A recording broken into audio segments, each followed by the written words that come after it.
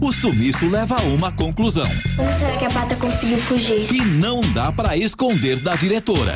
Tia Sofia, a pata fugiu.